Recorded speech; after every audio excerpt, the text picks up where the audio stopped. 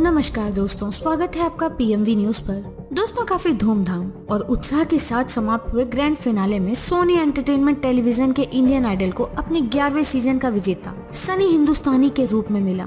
यह फिनाले शानदार प्रदर्शन से किसी भी तरह कम नहीं था, जहाँ जज नेहा कक्कड़, हिमेश रेशमिया विशाल ददलानी और मेजबान हिमेश रेशमिया ने बॉलीवुड के चार्ट बस्टर्स पर मन मोह लेने वाली प्रस्तुतियों से मंच पर आग लगा दी।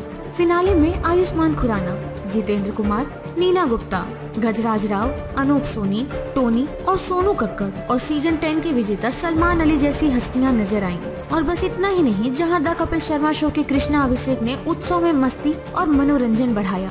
वहीं मेजबान युगल भारती सिंह और उनके पति हर्ष लिम्बाचिया अपने आगामी डांस रियलिटी शो की झलक देने के लिए इंडिया बेस्ट डांसर के प्रतियोगी लेकर आए। इंडियन आइडल सीज़न 11 के विजेता सनी हिंदुस्तानी को 25 लाख रुपए के चेक एक नई कार टाटा अल्ट्रोज और टी सीरीज़ की आगामी फ़िल्म में एक गाने के अनुबंध से सम्मानित किया गया। पहले उप विजेता रोहित राउत जिन्होंने कड़ी प्रतिस्पर्धा दी थी, उनमें से प्रत्येक को पाँच लाख रुपए के चेक से सम्मानित किया गया।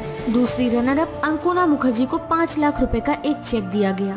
तीसरे और चौथे रनर अप रिधम और एड्रेस में से प्रत्येक को सोनी एंटरटेनमेंट टेलीविज़न की ओर से तीन लाख रुपए का चेक दिया गया। इससे बढ़कर सभी प्रतिभागियों को विभिन्न गिफ्ट हैम्पर सौंपे गए।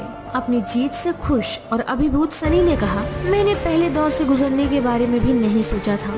प्रतियोगिता जीतना तो दूर की बात है। मैंने एक लंबा रास्ता तय किया है और विश्वास नहीं कर सकता कि सफ़र अभी शुरू हुआ है। इतने बड़े मंच पर गाने का अवसर मिलने से लेकर इस शो को असल में जीतने तक, यह सभी मेरे सपनों, इच्छाओं और प्रार्थनाओं का एक साथ सच होने जैसा है। मुझे सलाह देने और मेरा मार्गदर्शन करने के लिए जजों का और मुझे संगीत उद्योग के दिग्गजों के सामने प्रदर्शन करने और इतने सारे सितारों से मिलने के लिए एक मंच देने का अवसर देने के लिए सोनी एंटरटेनमेंट टेलीविज़न का आभारी हूँ। मैं विश्वास नहीं कर सकता कि पूरे भारत ने मेरी आवाज़ को सुना और मुझे देश की आवाज़ बनाने के लिए पूरे दिल से वोट दिया।